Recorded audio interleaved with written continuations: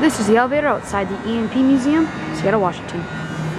It's either a Dover or a ThyssenKrupp, but it, the call stations have CJ Anderson vandal-resistant fixtures. And here it is. Take this up to two.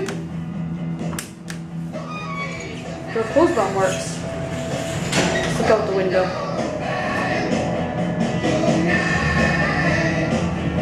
Has a delayed start.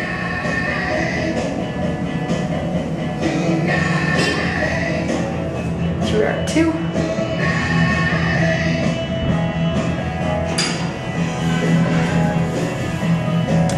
One. We'll look out the other side now.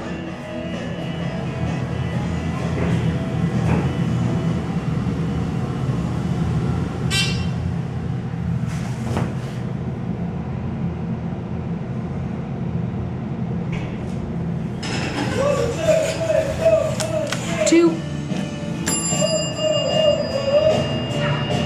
We'll get a cab view now. Just your basic transit style cab. The metal popcorn floors. Handrails. Lantern. This indicator is completely burned. Just the up and down arrows work.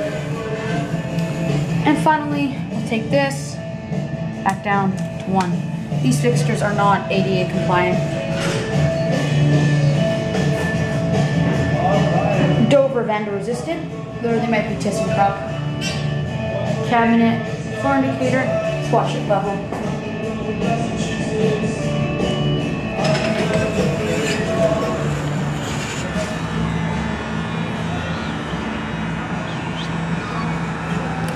And there it goes. And that's